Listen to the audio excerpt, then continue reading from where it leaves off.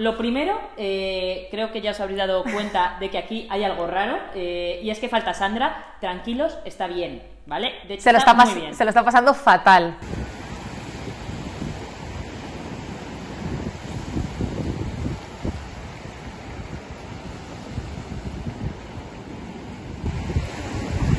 No está Sandra, pero tenemos a una invitada muy especial, Paula Vicar. Hola Paula, ¿qué tal? Hola, buenas. Estoy muy contenta de estar aquí, la verdad. Y bueno, sé que generalmente os dan los regalos al final, pero yo quería saltarme un poquito las normas y ya que os he traído algo tan chulo, eh, entregároslo ya y explicaros un poquito qué qué es, que viene siendo el primer álbum de cromos femenino de la historia, de todos los deportes que hay en Valencia y bueno, es gracias a nuestro patrocinador Teika.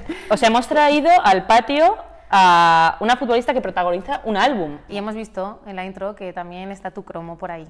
¿Cómo, cómo ¿Qué significa para ti tener un cromo propio? cuando en la inauguración pues nos dan a todas cada uno nuestro cromo pues es algo que, que nos hace ilusión a todas no al final saber que la- las niñas y los niños y bueno los que no son tan niñas y tan niños eh, van a estar pegando tu cara en, un álbum pues es algo que, ilusiona como deportista es una señal de que realmente estamos alcanzando metas eh, y como mujeres pues pues hace especial ilusión, ilusión claro. Bueno, pues después de esta introducción diferente, Paula, eh, vamos a seguir conociéndote un poco mejor, además de saber que protagonizas un álbum de, de cromos.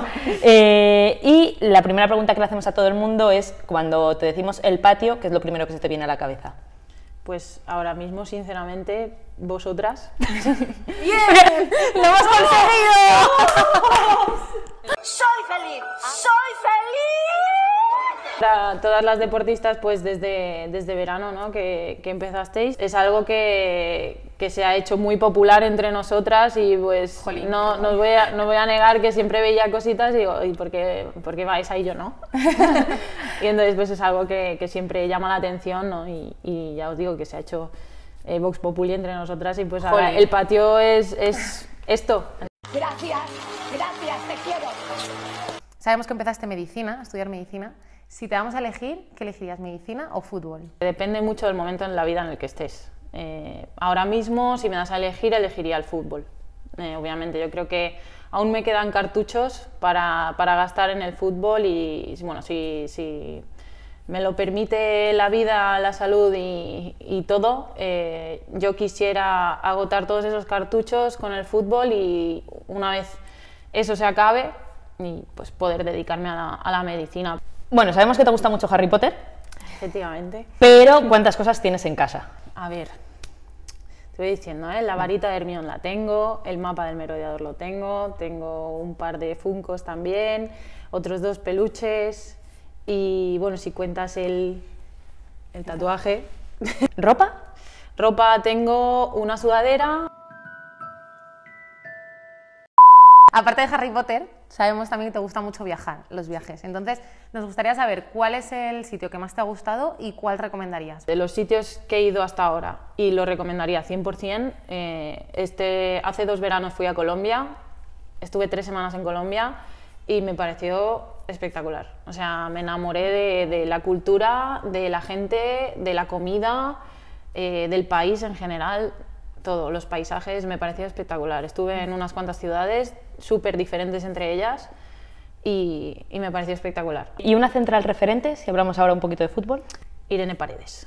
Me- siempre me ha parecido súper espectacular porque soy, bueno, yo soy de, de las que piensa que en la central lo primero que tiene que hacer es defender, que para eso está ahí atrás y yo creo que no hay nadie que defienda mejor que ella. ¿Y chico? Pues me gusta mucho y me ha gustado mucho siempre Sergio Ramos. Bueno, pues ya nos queda la última, La última. que es la pregunta estrella de aquí del programa, que si lo has visto sabrás cuál es, y es, si ahora mismo te damos a elegir 100.000 euros ahora o un millón de euros en 10 años, ¿con qué te quedas? Yo, mira, te voy a ser sincera, generalmente he sido súper impaciente toda mi vida, o sea, súper impaciente de quiero las cosas ya. Sí que es cierto que desde hace un par de años, con el tema de las lesiones y tal, he aprendido a desarrollar una paciencia mm, divina y creo que sería capaz de quedarme con, Con el millón. con el millón dentro de 10 años. Bueno, pues después de esta introducción, así para ir conociéndote un poquito, eh, ahora vamos a pasar a la conversación. Vale. Bueno, Paula, hemos empezado con un álbum muy polideportivo, eh, pero tú también tienes muy cercanas, ¿no? Tú vienes de una familia muy polideportiva, Sí. ¿no? Por lo que sabemos. Sí, cierto. Mi madre jugaba balonmano y siempre, toda la vida, hasta que al final lo tiene que dejar para ponerse a trabajar y tal. Y mi padre ha sido futbolista siempre, mi hermano también. Entonces hemos sido una familia un poco así... O sea, una familia de deportistas. Sí. Te lo- ya lo traes desde Total, casa, vamos. Sí, sí, total. Mi- mis tíos también, mis primos todos futbolistas. Pero Ahí ¿y tuviste tu duda entre balonmano o fútbol o siempre te gusta, No, claro, la fútbol? No, ya empezó en natación, ¿no? Sí, es cierto, empecé nadando, pero empecé nadando con cuatro años. Como Mira que- todos empezamos nadando. Eso que te sueltan en la piscina te dicen aprende a nadar. Claro. Pero pronto vi que a mí lo que me molaba era el balón y jugar con mi hermano y tal, así que para allá que fui. Estuviste en la selección sub-17, ¿no? Sub-19, sub-17. Sí. De hecho, he visto fotos de Amanda Alexia en ese partido estaba. El primer mundial que juega una selección femenina Sois vosotras. sois vosotras. Sí, o sí, sea, hasta mi generación, sí. ¿Eso para vosotras cómo era? O sea, ¿de aquella tenéis 17 o 16 años? O... Sí, de hecho yo cumplí los 16 allí en Trinidad. En Trinidad y Ir a. Trinidad y Tobago. o sea, Claro, yo era la primera vez que salía prácticamente, no del país, pero vamos, que lo, lo máximo que había ido era Suiza a disputar el europeo. Con lo cual, claro, Que ganasteis. Que ganamos. ganamos. Fuisteis a Suiza a disputar un europeo que ganáis Y ganamos. y a un Sí, sí. mundial a Trinidad y Tobago. Sí, y fue una experiencia espectacular, o sea, con un grupo que no podría ser mejor, con una generación que resultó ser increíble, que nos empezaron a, a decir que éramos la generación porque empezamos a, a ganar ahí, que al final ves el equipo y ahora lo entiendes, ¿sabes? Que compartes vestuario con Amanda, con Alexia, con Ivana, mm, entiendes que, que esa generación pues dirá que hablar. Y bueno, la verdad que, que fue una experiencia súper guay, porque ahora lo piensas y dices, jolín, es que nosotras fuimos las primeras, claro, ¿sabes? Las claro. primeras en ganar tal, las primeras en ir al mundial. Y, y bueno, fue muy guay. Ya te digo que encima cumplí mis 16 años allí. Y llega 2011, que es cuando debutas, ¿no? Primera división. En 2011, sí. Y eres eh, la jugadora de revelación de Primera División. Para que la gente lo entienda ahora, sería lo que tenemos el, depor de la- el deportivo y hablamos de Tera Belleira, hablamos de Atenea, si nos retrocedemos en el tiempo, digamos que la que asombró al mundo en aquel año fuiste tú, ¿no? Sí, a ver, yo sinceramente te digo que con, ese, con esa entrada en Primera División estoy, estoy muy contenta porque creo que, que en lo que sabía hacer en ese momento, porque desde entonces ahora creo que he aprendido mucho de fútbol, eh, creo que lo di todo mm, en todos los minutos que jugué en Primera División y eso me ayudó muchísimo para, para dar el salto de, de calidad a equipos más potentes. Cuéntanos un poco la trayectoria, cómo te llama el San Gabriel, cómo te llama el Valencia. Pues yo acabé ese año primero en primera división y me llamó el Valencia ya. Eh, la cuestión era que yo estaba estudiando un grado formativo eh, que solo estaba en Barcelona y me quedaba un año. Con lo cual yo hablo con el Valencia y le digo que me gustaría muchísimo venirme a Valencia y tal, pero que tengo ese problema, no puedo estudiar eso y le doy prioridad a los estudios porque yo quería entrar a la universidad. Entonces les pido que esperen un poco, ellos están de acuerdo, yo acabo mis estudios, me voy al San Gabriel, hago ese año y justamente ese año, antes de acabar la temporada, eh, el Valencia entra en Copa de la Reina y el San Gabriel no clasifica, porque antes clasificaban Sí, los ocho los ocho primeros. primeros.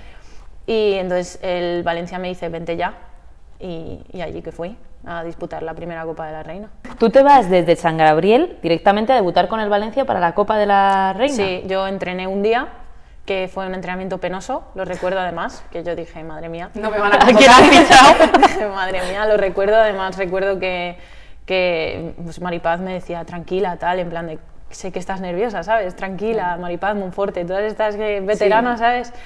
Y fue desastroso, fue desastroso. ¿Por cuántos años tenías? 19. Iba a decir veteranas entonces y siguen siendo ahora.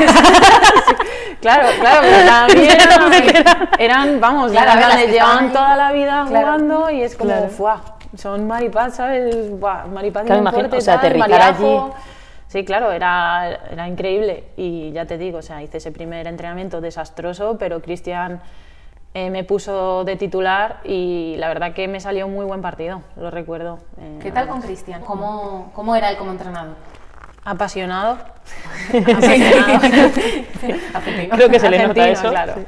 Yo la verdad que tengo muy muy buena relación con él. O sea, para mí él ha sido el entrenador porque me ha cogido en los años de soy una niñata que me creo sabes que soy que... que- sí me creo con una proyección increíble y, y además yo era era una niña niña digo porque bueno ahora, ahora tengo 25 pero entonces con los 19, bueno, con 19 al era final. mucho más inmadura, sobre todo a nivel emocional y a nivel de, de gestionar pues esas emociones que te crea el fútbol, ¿no? Eh, era pues eso, más niñata. Y me cogió él en ese momento y que además coincide con los años de madurez en el fútbol, de, o sea, de crecimiento en el fútbol para llegar a la madurez y tal, y me enseñó muchísimas cosas, profesional y personalmente hablando. Y yo le estoy eternamente agradecida por esas tres temporadas que a mí me hicieron ser lo que soy a día de hoy como, como jugadora. O sea, parte de lo que yo soy se lo debo a Cristian Toro, entonces yo le tengo muchísimo cariño. Y, y creo que él a mí también. ¿Estás feliz en el Valencia ahora? Sí. ¿Eres feliz? O sea, soy feliz, al final no estamos pasando por un buen momento, es cierto, los últimos dos años han sido complicados, pero yo en, en Valencia y en el Valencia soy, soy feliz porque ya eh, entiendo al Valencia como una parte de mí. Entonces, bueno, eh, aunque sea complicado, pero, pero sí, a mí me, me gusta mucho estar allí. Y ah, hemos hablado un poco de tu trayectoria, de todo lo que has conseguido, lo que queda, porque eres joven, pero sí que es verdad que ahora vamos a hablar un poco de un tema más complicado que son las lesiones. Tú te lesionas de una rodilla, te recuperas y vuelves a caer y ahora vuelves a estar lesionada. ¿Cómo se lleva eso? ¿Cómo es la primera lesión? La primera lesión fue en 2016, que en una acción, mm, no sé cuál, porque recuerdo que en cierto momento del partido, eh, además recuerdo que estábamos jugando en la ciudad deportiva, en Paterna, contra Albacete, en cierto momento del partido empecé a notar un clac en mi rodilla izquierda, pero no me dolía, y eso fue como los 20-25 minutos de partido. Y en la media parte se lo dije al fisio, el fisio me miró la rodilla, me dijo, no veo nada, tal, a jugar. Recuerdo que ese partido marqué dos goles además, que acabé el partido y dije, oh, qué bien. Y bueno, eh, al día Porque, siguiente... un momento, Cruci, hubo un momento, una temporada que Paula Nicar era la máxima goleadora de la liga, que solo era marcar goles de cabeza jornada tras Sí, jornada. Sí, lo, lo cierto es que no sé qué pasó, esa, pero mm, encima coincidió, porque coincidió con que Irene metió también Es muchísimos verdad. goles Y era la competencia. y era como, Sí. ¿qué está pasando? ¿sabes? Las dos centrales más goleadoras, Sí, es sí, verdad, es verdad. la verdad que sí. Pues eso, ese partido pues acabó, tal, estaba bien, contenta, habíamos ganado, metido dos goles, tal. Y al día siguiente me levanté con la rodilla súper hinchada, tal. Menisco roto, eh, cuatro semanas estuve ahí, de, tengo que esperar para operarme, tal cual. Total, que al final vino la copa, hablé con Cristian y le dije, Cristian, me encuentro mejor, no me quiero operar, hasta después de la copa quiero jugarla. Y él me dijo, si a mí los médicos me dicen que puedes jugar, yo encantado. Así que hicimos las pruebas, tal, estuve entrenando y más o menos tenía molestias, pero podía Pero jugar. llevaderas. Podía jugar. Y jugué la copa y me tenía que operar después de eso, pero como vi que podía jugar, dije, no me opero, que quiero jugar. Así que nada, seguí jugando y año y medio estuve jugando con el menisco roto hasta que ya la rodilla dijo basta y se me empezó a bloquear. Entonces ya eso ya era complicado porque ya no podía. Entonces entré en quirófano, me quitaron un trozo y a los 10 meses de haber vuelto, más o menos, incluso menos diría, me rompí otra vez el mismo menisco. Y claro, ya una vez ya te lo has roto, te han quitado un trozo, era una rotura que me impedía incluso caminar bien. Eh, las chicas se reían mucho de mí porque caminaba como un dinosaurio, ¿sabes? Eh, pues claro, eh, ya esta vez entras en quirófano, pero para un trasplante de menisco y ponerte la malla de cartílago y tal, y eso es muchísimo más complejo. De hecho, pues el trauma mm, te recomienda, eh, muchas veces lo hacen, pero dejar el fútbol, eh, bueno, cosas de médicos. Y bueno, me dice que él no me puede garantizar volver a jugar o, o no, o sea, o, o- ¿Y poder volver o no, o no volver o qué, porque es una lesión que requiere un trasplante y un trasplante no, no es No como sabes. un cruzado Claro. que es, vale, te operas tal y lo lógico se es que vuelvas. Eh, él me dijo en plan, bueno, yo te lo hago eh, para tu salud es la mejor opción, Pero no te aseguro. pero no te aseguro que puedas volver a jugar a fútbol. ¿Y cómo se lleva eso? Eso para mí fue como en ese momento, claro, yo dije, vale, mm, no voy a dejar el fútbol, yo voy a seguir y tal. ¿De cuánto tiempo estamos hablando? Y me dijo, hombre, 11, 12 meses de recuperación, claro. Yo no había escuchado eso en la vida y en ese momento que haces esa pregunta y te dicen que vas a estar un año recuperándote, yo dije, ¿cómo? O sea, me voy a estar un año recuperando y si vuelvo, y fue, fue un mazazo importante, porque claro, yo recuerdo ir de camino a Barcelona con Nayara, que estaba operada, recién operada en ese momento, y decir, bueno, entro a quirófano, me quitan el trozo otra vez y ya la, en tres meses estoy jugando. Y claro, llegas te allí y te dicen, todo "Sí, eso y es años". como... uf. Eso fue en, sí, en noviembre, diciembre de 2018. Y nada, pues estuve ahí un mes de impasse de mm, entro para quitarme el trozo, aunque sea peor para mi salud, pero a lo mejor tengo más posibilidades de volver a jugar. Porque tú no te planteabas en ningún momento dejar el No, fútbol. o sea, yo jamás me planteé dejar el fútbol. O sea, dije, yo voy a intentarlo con todo. Si luego la- no me da, no me da, pero Claro. lo voy a intentar. O, pues eso, hacerte el trasplante y jugártela, ¿sabes? De, pff. Y bueno, pues estuve ahí un mes duro de si no, si no, hablando con mis padres, qué hago. Mi padre opinaba una cosa, mi madre opinaba otra. Mm, bueno, y al final dije, no, mira, o sea, yo lo tengo clarísimo, me hago el trasplante porque va a ser mejor para mí. Yo el día de mañana quiero ser cirujana, con lo cual pues, tengo que poder estar de pie y no tener una prótesis con 35 años en la rodilla. Digo, bueno, me la juego y voy con todo. Y recorté cuatro meses y a los ocho meses estaba, estaba ya debutando. Y la verdad que fue una sorpresa para todo el mundo. De hecho, Cugat, el cirujano, lo considera Como un milagro. como uno de sus éxitos. Y, y bueno, todo el mundo, la verdad. O sea, mi rodilla respondió súper bien. eh, trabajamos mucho, sí que es verdad.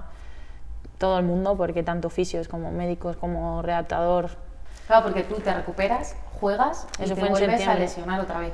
Sí, yo en septiembre debuté contra el Español. Sí.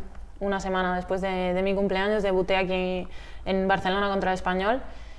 Con mi familia, mis amigos, en, en Barcelona, en mi casa, todo genial. Ganamos, o sea, fue espectacular. Y nada, unos tres días después o así, en un entrenamiento, mm, pues la mala suerte de tener un choque con una compañera y en ese momento ya empiezas un poco a, a sentir que la rodilla está rara, la otra, La otra. porque la, la de izquierda estaba súper bien. La otra rodilla empiezas a sentir que está un poco rara. Me tuve que salir del entrenamiento porque intenté volver a entrar y no me respondía bien la, rodilla. Dije, uy, y me asusté. Pero bueno, me hicieron pruebas y tal y a priori no se veía nada, pero a mí la rodilla me iba fallando de vez en cuando. Bueno, seguí jugando, seguí jugando, entrenando, tal. Y, y bueno, en una acción sola, como ya os digo que la rodilla me iba fallando de vez en cuando, en una acción mm, se me fue la rodilla, noté un crack y, y bueno, eso fue el menisco, eso fue el menisco interno porque el cruzado parece ser que ya llevaba como un par de meses algo así roto.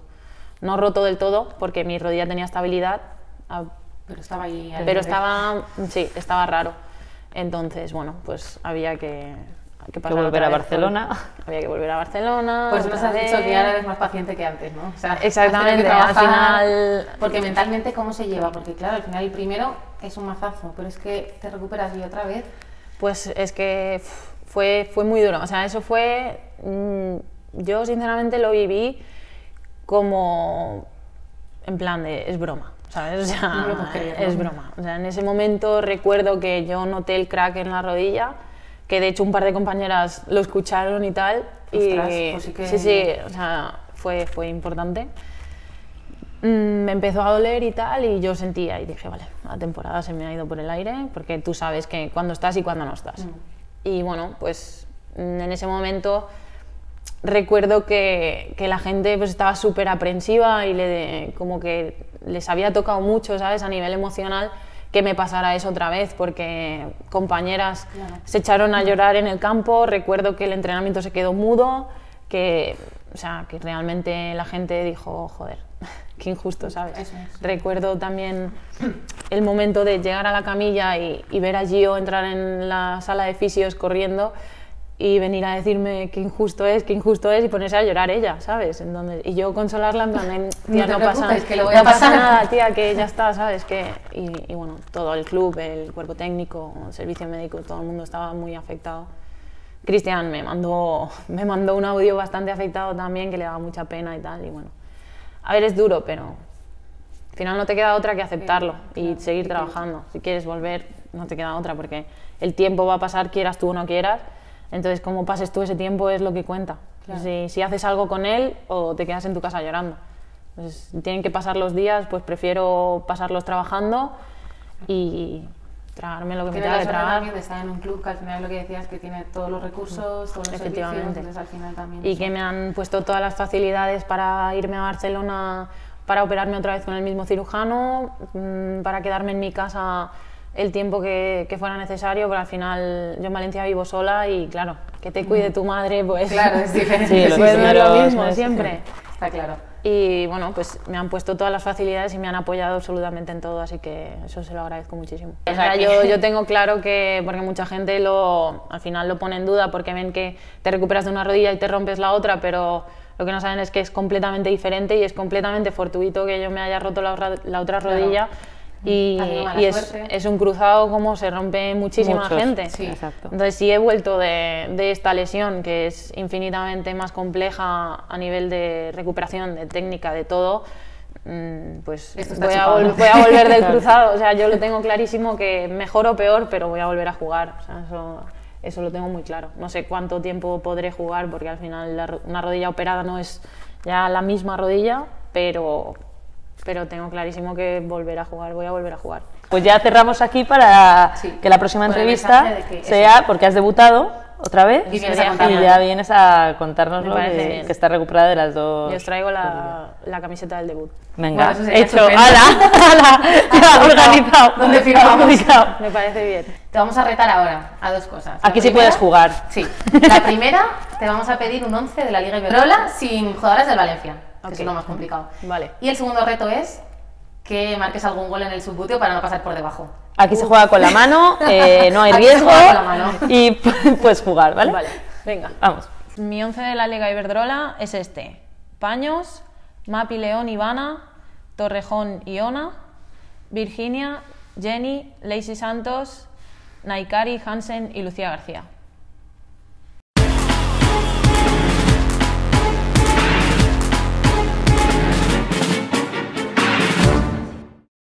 Eh, no tenemos balón.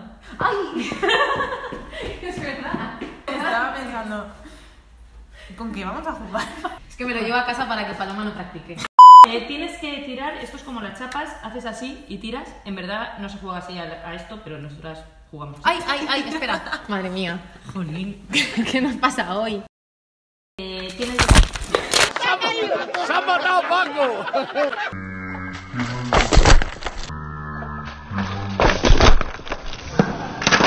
¿Qué ha pasado? ¿Qué ha pasado? ¿Qué pasa? Que si no te lesionas tú, ya te lesionamos nosotras, ¿vale? Bueno, eso ya se queda fuera. Pues empiezas tú y Bárbara para. Y tú eres la que para. Sí. Eh, más flojito. estamos compitiendo, o sea, no te vamos a dar consejo. Golpe directo a ganar. Impecable. Muy bien.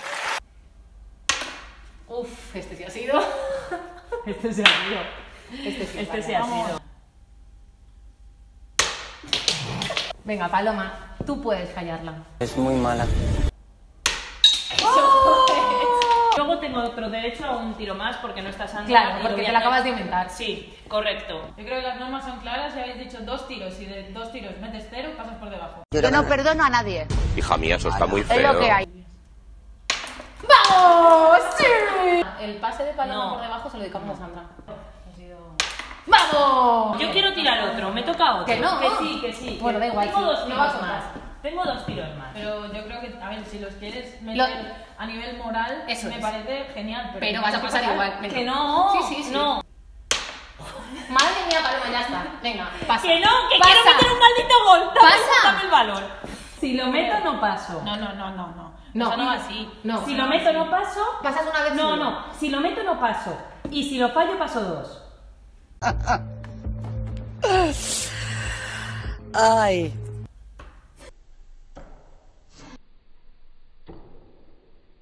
Venga, ya está. Ya no hay más oportunidades. Despacito, que se vea bien en la cámara. Una, te queda la otra. Venga. Vale. Muy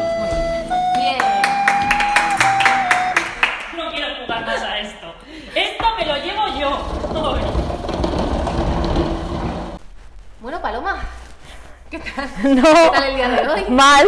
Yo estoy indignado. Las acreditaciones en la cabeza. o sea, Sandra. es que. es- Y encima ahora le tengo que dar un regalo Es muy injusto, muy injusto. cuando se ha inventado que tengo que pasar dos veces por debajo. A ver, no se lo he inventado. no me lo he es cierto inventado. que has dicho, yo tiro por Sandra. Habéis quedado las dos a cero, pues pasa dos veces. Además, la última era. Si lo metes, pasas solo una, si no lo metes, pasas dos, y ha sido el tiro más lamentable que has hecho. ¡Chasca! no has llegado a portería, con lo cual yo creo que era justo que pasases dos veces. Yo estoy muy enfadada con este juego y quiero poner una queja. No quiero volver a jugar. Claro que sí, campeón. Pero tengo que dar el reloj. Tienes que dar el reloj. Jolín. No, no, no. Tengo un regalo para ti, que no te lo mereces, pero te lo voy a dar. Sí, te lo mereces. Eh, de Injo, que encima ese es nuevo, o sea, es un modelo nuevo. No lo o sea, habíamos soy la primera que tiene estos modelos, ¿no? Sí, todas teníamos este, el doradito plateado, y ahora ese es nuevo. o sea que. Muchas gracias, me gusta mucho. Pues Y muchas nada, gracias. Esperemos que te lo hayas pasado muy bien. Me lo he pasado muy bien, sobre todo en el momento de, las- de las acreditaciones, uno, y el momento de verte pasar por debajo dos veces. Ha sido también. brutal. Eso Ha es sido genial. momento. Pero he estado muy a gusto. Nada, no, nosotras igual. Eso es, también lo tendremos aquí, lo pondremos aquí en nuestra colección de cosas del patio, eh, lo dejaremos. O sea que nada, que muchas gracias por venir y que eso, que te esperamos a la vuelta cuando estés Hecho. eh, de nuevo hecho. jugando. De hecho, os, espe- os esperaré la llamada, ¿eh? Eso, Sí, sí. habrá, habrá, seguro. Toca decirlo a ti, no, hombre, que lo diga ella, ¿no? Lo. Suscríbete, dale a like. Y Ah, vale, eso. O dale a me gusta. Al patio, ¿no? Es- es el Hombre, patio pues a otro no. A ver, puedes promocionar otro canal de YouTube. No sé qué has venido. También. Te- puedes, pero Eso. Suscríbete al patio y dale a like, sobre todo, muchos likes. Vale, pues ahí lo tenéis. Eso es. Y nada, que nos vemos el próximo martes, que ahora tenemos vídeos los martes, Eso, os lo recordamos. O sea que, hasta el martes. Adiós. Adiós.